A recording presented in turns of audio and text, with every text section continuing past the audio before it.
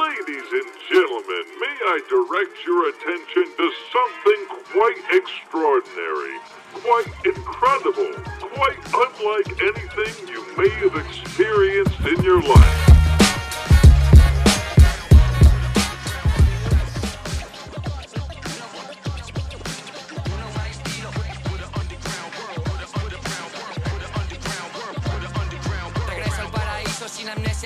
Me bajo al puto pueblo ya cerrado el Antonio. Apunto yo en el móvil lo que ayer en el folio. Y me apropio del discurso si me sale del coño. Tú me odiabas, yo también te odio. Normalizo el expolio aunque su mierda es un bodrio. Muta analógico y digitalizo el vómito. Nunca escondidas pero siempre de incógnito. Les tengo a todos fritos comiéndome el fosquito. Always looking for freedom Oigo como Lester Freeman, you know my estilo. Cervezas y vinilos Reparto como Jokic y manejo como Jones y Billups. Viejo y zorro como un Linux, profundo como el Nautilus. La vida es un virus, gusanos contra bacillus. Bits and bobs, primo, no tengo más que deciros.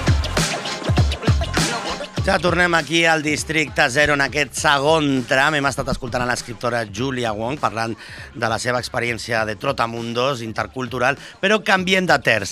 I ara ho fem amb un dels nous col·laboradors del Districte 0, que és el Quico, que el vam convidar unes setmanes. Ei, Com estem, ei, Quico? què passa, família? Com estem? Et vam convidar fa unes setmanes, ens va encantar les mogudes que ens vas explicar, la cultura que ens portes en aquest programa, i hem decidit que és un districtarià de tota, de primera, de primera, de primera promoció, de tota regla, i per això el tenim avui al districte.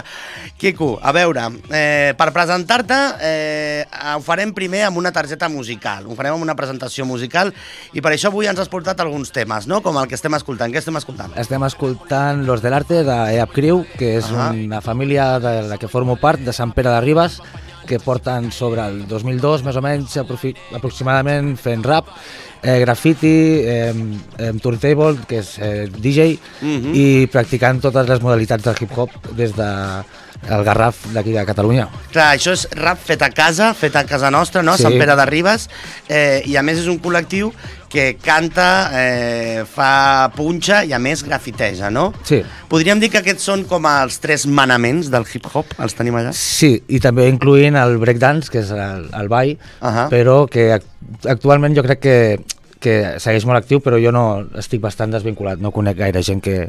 Que faci que- break, no? Sí. B-boys, no? Estaria molt bé eh, conèixer algú i portar-lo, Sí, una mica. estaria bé la cultura b-boy, la veritat és que també és tot un món, però avui hem escollit aquesta, aquesta banda també per començar, per parlar una mica del rap a casa nostra, no? Sí. De, precisament hem escollit aquest tema que precisament no diríem que és l'estil d'ara, no? És un estil més, Més, clàssic. Sí, correcte. Eh, eh, L'EAP Criu, eh, tant el Rata, per exemple, que està forma part, i el DJ Chess, o sigui, l'EAP Criu són molta gent, però principalment els que canten són Rata, eh, el Mig, eh, el Mates i el DJ Chess, que és qui està a darrere els plats.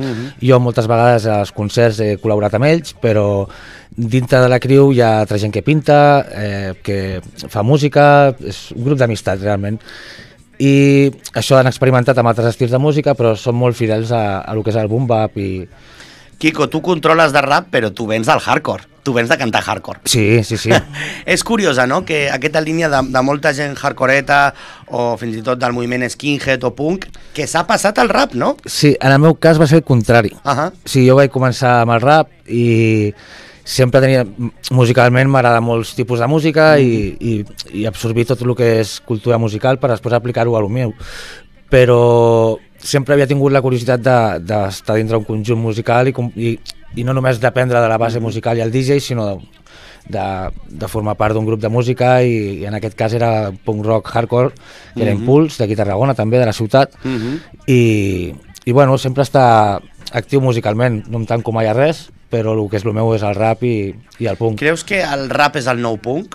Creus que el punk com a gènere ja s'ha estirat tant, s'ha, s'ha- que per cert aquest dissabte venen uns mítics a Tarragona, a la Sala Cero, venen eh, Distorsión, em sembla, no? Ah, sí? Eh, però creus que ja el, el punk com a gènere ja s'ha exprimit molt? Vull dir, i que el rap ocupa ara aquest espai, mm, no? Jo crec que, per exemple, el punk aquí estatal, eh, grups com Crim, per exemple, van obrir una porta i, a, part, i arrel d'aquí han sorgit nous grups, com va ser Impuls, que és el meu cas, i, i molts grups d'aquí de, de la, del panorama català. Però sí que és veritat que amb el rap la gent des de que està a internet i tens l'abast de- d'autoproduir-te tot, mm -hmm. el rap és, no necessites un conjunt de música, com dèiem, i pots, pots fer-t'ho tu autodidactament, i molta gent ha començat a iniciar el rap. I és com el punt perquè pots fer el que et dona la gana, És realment. un do-it-yourself, totalment. Ah, no? exacte. Ah, tu ho has dit, l'has clavat. Que és com fes-ho tu mateix amb els mitjans que tinguis i ara pues, qualsevol persona amb un laptop i algunes fins i tot bases pirates exacte. pots fer un disc prà- I, pràcticament. i vull dir, eh, és el que té tothom a l'abast. saps? Mm -hmm. Segur que molta gent que fa rap, si pogués tindre un grup de música, el tindria. Mm. -hmm. Però bueno, eh, jo crec que dona peu a, a no només ser mm, famós si estàs per una multinacional o una discogràfica, Mhm. sinó que tothom, com tu has dit, do it yourself, pot fer pot arribar a molta gent. A més, tu que has estat en una banda, lo complicat que és juntar els quatre una tarda, anar a un local, portar els instruments, eh, i no fer un cop a la setmana, potser fer-ho dos o tres cops a la setmana, no? Vull dir, necessites una infraestructura que... Una infraestructura, una organització i pensa que eh, som cinc al grup, eh, cadascú té la seva vida, la seva feina, la seva situa situació personal i costa molt a vegades congeniar totes aquestes persones per, per arribar a portar a terme el que és el grup de Mhm. música. Per això jo sempre, a banda del punk, he seguit fent rap, perquè és una que puc fer pel meu compte, que tinc molts contactes de molta gent que ho segueix fent, i, i per això he fet una mica naufragi el que és el, el meu grup de, Clar, de punk rock. perquè ho pots fer, ho pots fer amb poca gent, no necessites a gairebé ningú, no? Correcte. I pots escriure tu les lletres, que a més amb el gènere del punk o el hardcore és una altra estructura, podríem dir, no és la Sí. mateixa manera de cantar, no? És diferent, sí, sí, és totalment diferent. Si li expliquéssim a algú què és el hip-hop, què és el hip-hop? Jo crec que el hip-hop és una cultura que representa l'essència del carrer, que va néixer a Nova York a finals dels 60, Mhm. on hi havia una situació en què la gent necessitava mm, expressar el seu malestar social sobre un, uns moments en els que hi havia molta pobresa, molta desigualtat, Mhm. molt racisme que el segueix havent als Estats Units i, i arrel d'aquí es van començar a juntar en els barris eh, fent petites festes i realment el que era el, el, el MC, el que cantava, no era res més que el que presentava Mhm. el- la festa, com si diguéssim, però es van evolucionant a que la gent li agradava aquesta persona que presentava les festes, el Mhm. Master of Ceremony, i bueno, va evolucionar que cada, que cada barri feia el seu col·lectiu i, i com Cool Herc o com Grandmaster Flash, que són els primers que van començar a, a, a fer públic i Clar. aquest eh, corrent musical. A més, aquest, aquest rap arriba a casa nostra. Bueno, l'estat espanyol, quan té més punts, realment és a finals del 90, no? Quan parlem de Sí. Violadores del Verso, SFDK... Hablando en Plata, Hablando en sí. Plata, CPV, no? I, però avui tenim, fem un raconet al rap francès, perquè el rap francès ha tingut també una influència eh, molt, molt important, molt heavy a Europa. A veure si tenim aquest tema de, de l'any. a DJ Underground exclusive. La justice nique sa mère Le dernier juge que j'ai vu avait pris deux puisque le dealer de ma One, two, three, four. Estem escoltant aquesta cançó de Cat Killer, no? Qui és Cat Killer? Cat Killer era un DJ francès eh, original del Marroc que ha sigut campió d'Scratch Sessions molts anys eh, Mhm. i va ser un referent als 90 europeu i mundialment sobre la cultura hip-hop i va ficar la banda sonora d'aquesta pel·lícula que per mi representa molt la societat eh, underground i el moviment social del hip-hop que és una pel·lícula que representa els suburbis dels barris francesos a París. Parlem de l'Odio, de l'Aine, no? Sí. És un clàssic Sí. del Matej Kasovich. Correcte. Eh, per què és tan clàssic eh, l'Aine? Per què segueix tan vigent a l'Odio? a part de que diuen que va ser una... Com es diu? Quan, com, que es va avançar als aconteixements. Que va ser vanguardista. Exacte. És, eh, és un cas molt que tu al, al nivell personal, per exemple, m'agrada tant perquè podria ser qualsevol de nosaltres Mhm. o qualsevol persona que té un dia a dia difícil als suburbis eh, parisencs. Mhm. Però eh, va haver uns disturbis allà a París on, un policia, on la policia va deixar en coma a un, a un noi ma marroquí Mhm. i llavors arran d'això va haver més disturbis i en aquests disturbis eh, la policia perd una pistola i la pel·lícula tracta sobre la visió des de tres perspectives diferents, que són un jove marroquí, un jove afroamericà i un jueu, que és l'actor Vincent Cassel, que va Mhm. ser, li va donar molt de, molt de nom a aquesta pel·lícula, i narra les 24 hores del dia posterior a que es perd la pistola en els disturbis. Mhm. I, bueno, no dic res més perquè aconsello molt que la mireu, si no l'heu vist, i és un referent de la cultura urbana. A més, és bueno, és una pel·lícula de culte gravada en blanc i negre, amb una banda sonora punyent. Va ser la primera pel·lícula de Matej Kasovits, que el recordem perquè surt Amélie, fent de l'enamorat de, la, de, la, de la protagonista. I aquí parla de la realitat de les Banlieues, que són aquests barris que estan a les afores de París, no? on si no tens cotxe, eh, el menges pràcticament els Els morts. free tours no crec que vagin gaire per Els allí. free tours no van per allà eh, i, i la Ine representa molt, molt bé, recull aquesta sensibilitat d'aquests joves sense futur i en el qual el rap eh, és com una mena de refugi, no? Sí, de refugi, de forma de- d'expressar-se, no? De, mol, molts joves, eh, la música com a grafiti eh, són apoyos, bueno, recolzes que tu fas per, per potser no estar en el dia a dia al carrer envoltat de, de droga, de violència, i jo crec que són ajudes que af- apoyen molt a una societat, per això es veu tant en els, distur en els disturbis, en els districtes de la perifèria, perquè és una societat més, més que té més a dir, més a queixar-se. Podríem més... dir que el grafiti és aquest combat contra l'avorriment social, és a dir, pinto i surto a pintar perquè si no què Sí. estaré fent? Podria estar perdent el temps de la meva vida o,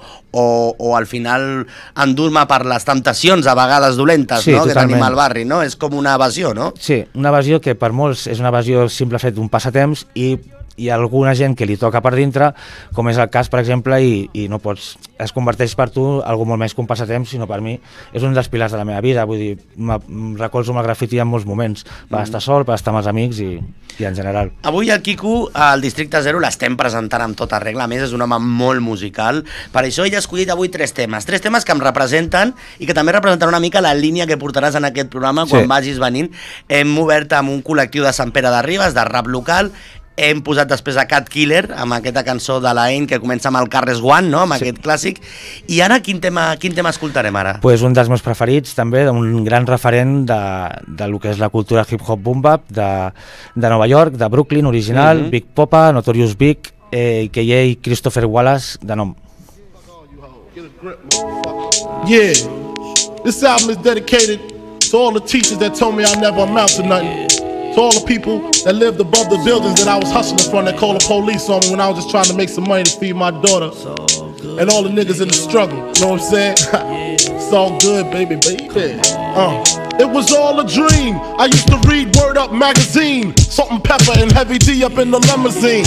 Juicy de Notorious B.I.G. Notorious B.I.G. que és aquests del Club de los 27, eh? Vull dir, no Sí. van arribar ni als 27 no van tacos, arribar ni als 27, ni ell, ni els Tupac. Els no? 24 van, per desgràcia, per molta desgràcia, perquè era un gran talent, tant ell Mhm. com Tupac, i van ser víctimes d'aquesta violència generada a través de, del rap i... I no creus que va ser una violència generada a través de la indústria del rap, Eh, també, sí, potser una mica? Molt, i, eh, i, perquè també el rap als Estats Units va moure molts diners, i al moure Mhm. molts diners... Eh, ja sabem que hi és tot molt privatitzat, molt capitalitzat, Mhm. i hi hauria un interès polític també en aquest eh, confrontament d'East Coast, West Coast, però jo et proposo, si vols, eh, aquest Sí. tema el podem tractar, si vols, una mica el, el pròxim Home, dia. tant, és que s'han escrit llibres, documentals... I a més és un cas que encara està per resoldre, que no... No, No s'ha sapigut bé No. qui va matar ni a Tupac ni a Biggie. no ben bé, hi ha diferents teories i són teories que no surten a la llum perquè, perquè hi ha policia pel mig, hi ha Ahà. discogràfiques, molts diners... Bueno, es parla de que Such Hill, no, que era el mànager Sí, de Death Row, Death Row. estava connectat amb la policia de Los Angeles a través de les molts, pandilles... molts policies d'extra sou, Sí. d'extra feina, feien de, de mm, seguretat privada d'aquestes discogràfiques, Sí. però bueno, eh, dona molt que parlar, dona molt que parlar. Dona molt que parlar. A més, em sembla que recentment Netflix ha tret una altra investigació sobre, sobre la mort de Biggie. perquè la mare, la mare d'ell, ah. Loretta Wallace, Sí. va ficar una denúncia a l'estat de Nova York, Sí. ai, a la ciutat de Nova York, que demanen, no sé si eren un milió, no sé quants... Una, Molta pasta. Un, un pastizal. Eh, per aclarir el judici, per, Sí. per noves proves, i bueno, mai s'ha acabat de... És un pou sense final, aquest tema. Sí, a més, tu que ets més de Tupac o de Biggie? Jo de Biggie. Tu ets més de Biggie, Sí, no? sí. Per què no t'agrada tant Tupac? Bueno, musicalment som més East Coast. Eh, Ets més Nova York, ets més, està. eh? Nas, aquest, Clan. aquest rotllo tan californià ja no, ja no, ja tant, no tant, no? no tant club dance, no, tot i que d'allí està Dr. Dre, bueno, està la crem de la crem. Oh, a mi també. m'agrada molt el Tribe Called Quest, Farside, que també són de per allà, eh, està. que tenen un, un rotllo guapíssim. Avui el Toni, el tècnic, el veiem content, eh? Avui hem ficat temes que t'agraden. Un crac, un crac, el Toni. un crac el Toni. I a més a més, eh, eh, tota aquesta guerra, no?, al final, eh, eh, per exemple, a mi Snoop Dogg, que és ara el personatge superestimat dintre Sí. del món del rap, no?, però es va com escabullir, eh, Eh, el ara és. Snoop va... Lion. Snoop Lion. Va... Diu que va tindre una, una aparició Sí, de, sí. del Rastafari, i ara que li va, li va dir que era Rastafari, i a Snoop Lion. Jo he sentit algun cop alguns rapers que el Snoop Dogg el qualifiquen com un gangsta d'estudi. També. És a dir, va de, no? va de mafiós, però és un mafiós dintre de l'estudi. Al carrer no ho és. Sé que en els seus orígens va ser proxeneta i va ser també en el món aquest del dealer i això, Sí. però no però no ha sigut mai, com per exemple el Notorious Big, Big Small Sí. sí, que... Venia crack, ell era traficant. Sí, era un estudiant a l'escola que anava amb l'uniforme del col·le i veia a les cantonades del seu barri pues, els xavals amb Air Force, amb cadenes d'or i ell vivint en la precarietat i el fàcil que veus que és introduir-te en aquest món és perquè tu de petit vols tindre també allò, la vida fàcil, el diner fàcil. Direm, direm també que ara les noves eh, tendències del trap també... Jo l'altre dia vaig una entrevista a Hardfighter, no?, que deia hem deixat, eh, els músics de trap o de rap hem deixat molt davant del discurs social Hmm. i només ens parem en centrar-nos en, en la droga, en la mala vida, no?, en Sí. la navalla, en tot aquest estil de I és, vida. és una pena, és una llàstima perquè és un missatge que nosaltres estem donant als joves. Eh, eh, Hardfighter també crec sí que és molt macarra i molt sí. gamberro, però té un rerefons molt polític que està molt bé i Mm. també vaig veure una entrevista seva i realment em va, em va sorprendre. Però sí que el que dius és, és cert que, que ara és tot de un tema de una temàtica a les lletres que és molt violenta, que, que tot això influeix als joves d'avui en dia, perquè és com... Eh, És un discurs, és un discurs una mica nociu, també, a vegades. Sí, no? banal i la, el tracte cap a la dona també és, és una mica discriminatiu, eh, afavoreix molt el capitalisme, el jo tinc, jo tinc, jo tinc... Sí. I Creus jo, que el Biggie fugia una mica d'això, potser? Jo crec que no és que si fugis d'això, sinó que és molt fàcil un cop estàs dintre del moviment i vens i tens diners i això, si és autobiogràfic tu parles del que vius i Mhm. ell parlava del seu dia a dia i realment eren lletres molt crudes, molt violentes i la seva mare no volia escoltar-les. Mm. Era com un missatge molt cru, però és que, que sigui cru i violent no vol dir que no sigui cert. Mm vegada. És el que diu Ice Cube, no? a la pel·li de Straight Outta Compton, que diu, eh, li entrevista un periodista no? i diu, jo, la diferència entre tu i jo és que jo sóc un la meva honestitat és brutal, no? li diu Clar. a l'Ice Cube, un periodista com tu, però jo sóc honest. No està tu, condicionat. Tu no, tu no ho ets perquè estàs condicionat i potser et Correcte. molesta a, el que et dic, no? Eh, Quico, molt bé. Eh, és aquests tres temes que et representen. Sí, molt. Eh, recordem més que Quico eh, és un dels promotors culturals també a la Paralta, que tens allà la ah, sí, Treva. la Treva. Eh? I aquest dissabte tenim punxant Dans en Culture. És un, un local on podeu venir a prendre cervesa, estar amb els amics i, i anem fent històries per promoure la cultura de Tarragona, la cultura artística. i la cultura urbana, la cultura underground, la cultura que no té espais, doncs la Treva ara és un d'ells. Sí. Eh, Quico, estem arribant al final del Districte 0, t'agraeixo molt la teva selecció musical, a la pròxima ja entrarem en concret ja en una qüestió, no? Ja Sí, vols parlar d'East Coast, endinsem. West Coast, ens endinsarem. Quico, moltes gràcies per estar al A Districte vosaltres, 0. un, un, un plaer, un gran plaer. Com sempre, els controls Toni Garcia i el que us ha parlat Fran Richard. Ens podeu escoltar a Spotify i a les diverses plataformes. Ens veiem. Salut! Yeah.